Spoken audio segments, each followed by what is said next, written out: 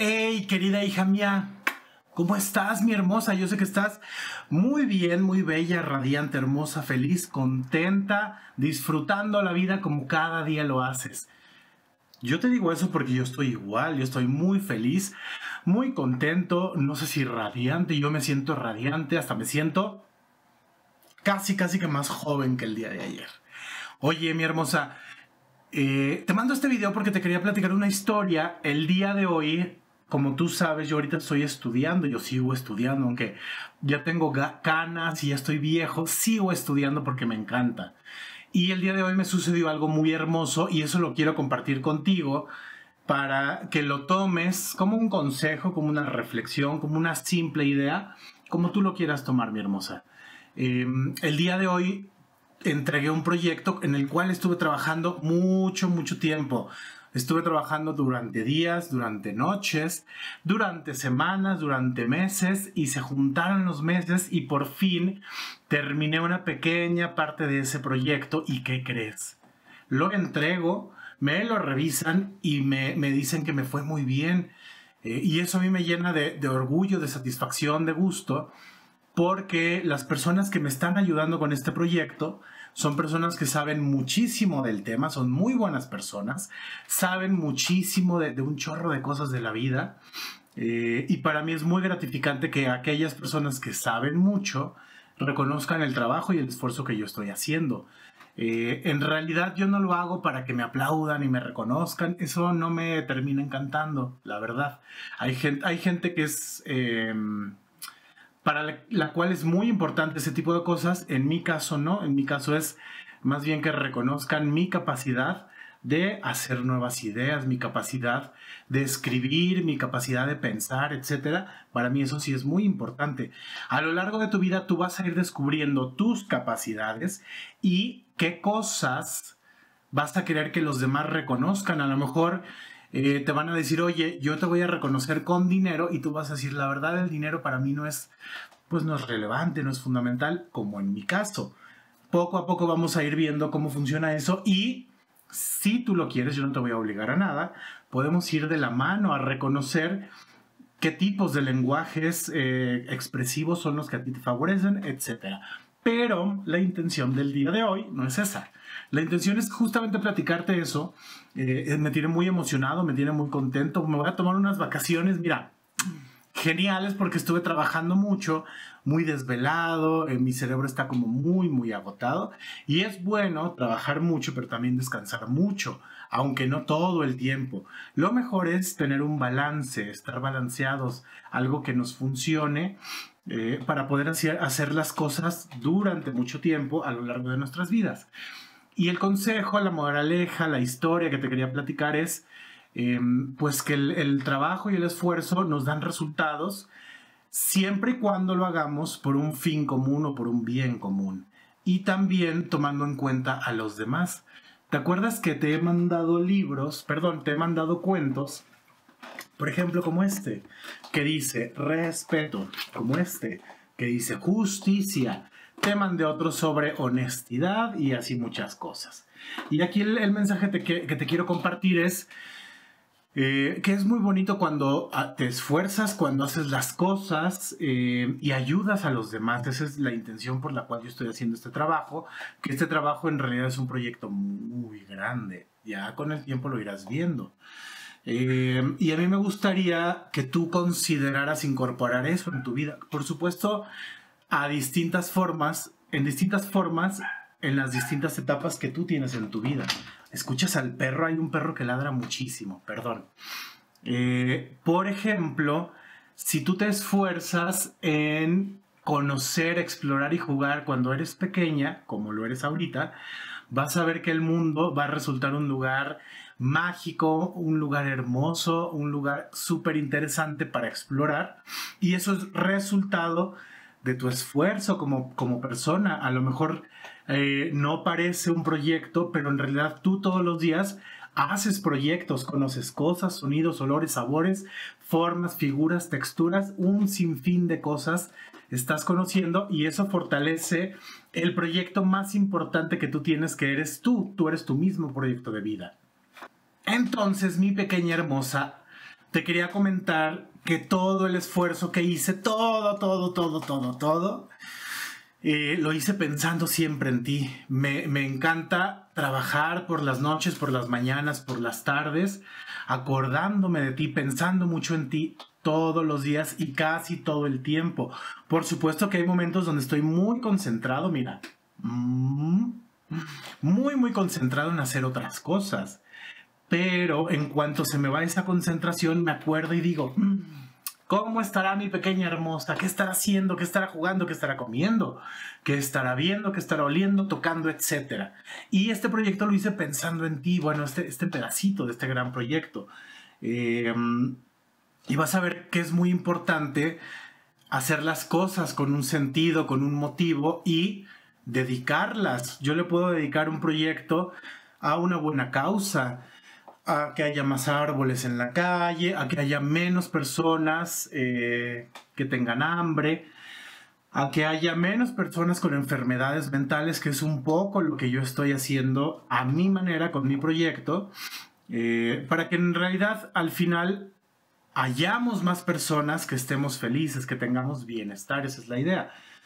Entonces, pequeña mía, acuérdate que esto que estoy haciendo, porque yo quiero, lo hago por ti. ¿eh? No me están obligando, lo hago por voluntad propia. Eh, y vas a ver que va a ser, tu nombre va a ser el primero que va a aparecer ya cuando termine ese proyecto y cuando esté así como en un, en un libro. Lo vas a abrir y adivina qué va a decir. Va a decir para Luisa. No sé todavía qué le voy a poner, pero va a decir para Luisa. Y mira, no importa si tengo más hijos, no importa, ellos no tienen que saber esto ahorita, pero tú eres mi súper, súper niña favorita, hermosa, preciosa.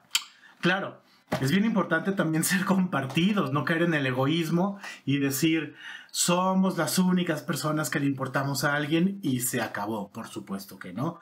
Tú sabes que yo también tengo afecto y amor por otras personas, por ejemplo, tu abuelo Marco, tu abuela Mine, tu tía Aurora, tu prima Lucía, tu tío Fran, tu tío Picos, tu tío Arturo, tu prima Adriana, tu primo Rafita, es decir, hay infinidad, infinidad de personas eh, por las cuales yo siento afecto que no necesariamente son ni mi familia ni mis amigos, ¿no? Es, es, es, es, muy interesante eso.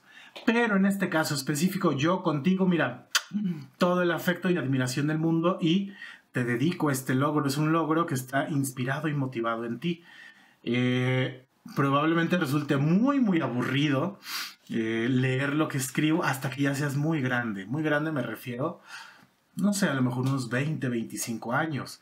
Porque para todo hay edades. Es decir, yo puedo, es que estoy buscando un libro, mira. Yo te puedo dar a ti este libro y me vas a decir, oye, qué libro tan aburrido. No tiene dibujos y son puras, puras cosas que no entiendo. Y pues por supuesto que es aburridísimo, pero si te doy este que acabamos de ver, que tiene ilustraciones, para ti va a ser mucho más interesante.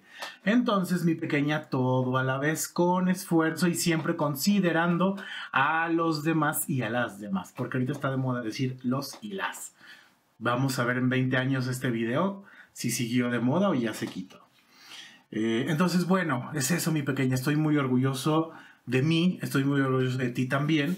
Y te quiero también dar este mensaje. Eh, a mí me encanta estudiar. Yo lo haría por mucho tiempo más, pero no puedo hacer eso todo a la vez. ¿eh? Hay que poner límites. Es muy importante decir hasta aquí, hasta aquí llegamos. Eh, y si a ti te gusta estudiar en el futuro, tienes todo, todo mi apoyo y seguramente yo te voy a ayudar mucho con eso. Pero tú puedes decir, hmm, la escuela no es tanto para mí, yo mejor quiero hacer cosas con las manos y te voy a ayudar. Cosas con las manos lo hacen, por ejemplo, los artesanos, los reposteros cuando hacen pan o pasteles dulces o comida, los mecánicos cuando arreglan eh, automóviles, los jardineros cuando cortan las hojas, los zapateros cuando están haciendo los zapatos. O puedes decir, a mí lo mío, lo mío es hacer cosas con mi cuerpo. El cuerpo es de las cosas más sagradas que tenemos. ¿Quiénes hacen cosas con su cuerpo? Hmm, muy interesante. Los y las bailarines y bailarinas, voy a decir en general porque me, me da mucha flojera meterme en eso. Los bailarines, los actores de teatro, los actores que hacen así, "Hmm, estoy muy enojado. Y luego le hacen, estoy muy feliz. "Hmm, muy enojado. "Hmm, muy feliz. Ellos trabajan con todo su cuerpo. Eh, los artistas que pintan y que ellos mismos son una obra.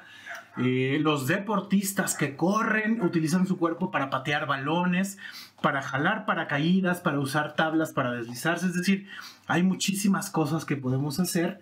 Eh, hay personas que deciden trabajar ni siquiera con su intelecto, ni siquiera con su cuerpo, sino con, con sus sentimientos, sus emociones, su corazón, por decirlo de cierta manera. Los terapeutas, los asistentes sociales, los psicólogos, los psiquiatras eh, y aquellas personas que están mucho más en sintonía y en cercanía con este lado espiritual, por ejemplo, las personas que hacen meditación, que hacen yoga, eh, las personas que están en los templos don- donde se practican algunas religiones, eh, ellos trabajan mucho con el corazón y es con lo que sienten. Entonces, vamos a ir viendo la vida, qué caminos te lleva. Esto va a estar interesantísimo. Yo todavía no sé si vas a ser una excelente bailarina o una mala, mala bailarina como tu papá.